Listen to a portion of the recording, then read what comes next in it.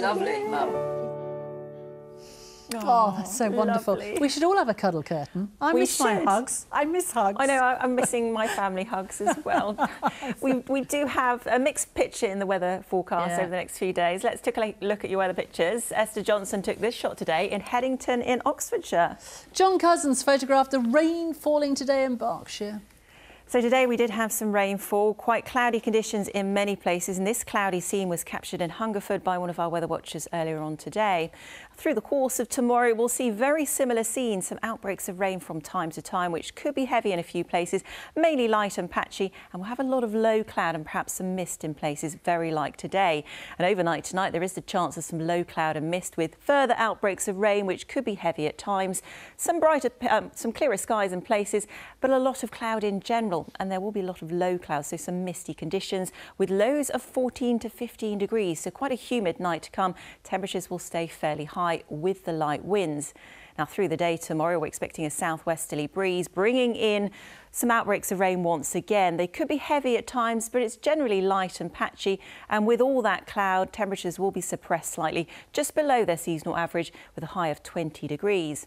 So, on the inshore waters tomorrow, the winds are southwesterly, 4 to 5, occasionally 6 at first, then veering northwesterly.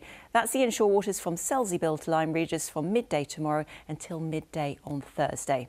Tomorrow night, once again, further outbreaks of rain are a possibility. The rain will come and go, so there will be some drier periods as well, but generally a lot of cloud. But this is the last time we'll see that cloud because it will start to ease its way eastwards during the course of Friday. Temperatures tomorrow night down to around 12 to 14 degrees, so another humid night to come.